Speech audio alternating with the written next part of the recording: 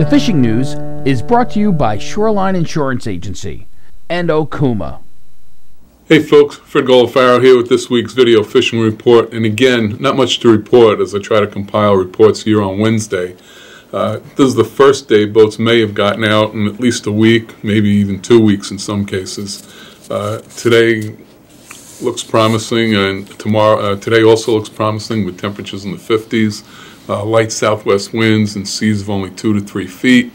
But Friday, Saturday, and Sunday not looking great. Uh, seas anywhere from five to 10 feet during that period, according to the marine forecast. That is. Uh, I'd certainly check with your captain before heading uh, heading down to the dock uh, over the next few days.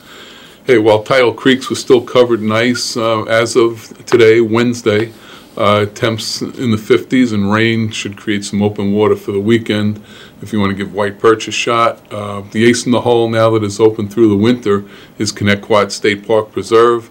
The wind's a non-factor there, and the trout fishing in the park really has made a strong comeback with uh, a lot of quality fish being taken from the river. Uh, remember, this is fly fishing only.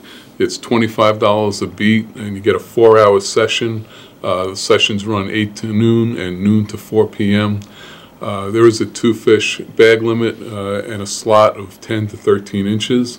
If you want to reserve a spot, give them a call at 631-581-1005.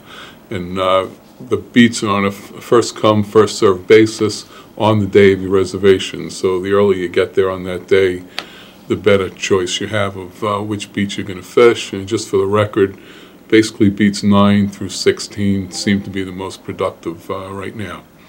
Uh, Saturday looks wet and windy, which makes it a good day to attend Surfcasters Journal Striper Day. That's at Hofstra University's Student Center. It runs from 8.30 to 5 p.m. Uh, the first 400 people after 11 a.m., not when the doors open at 8.30, but after 11 a.m., uh, will be treated to a goodie bag. Uh, there's ongoing surf fishing seminars throughout the day, many surf-related vendors. I'll be there, so be sure to stop by and say hello.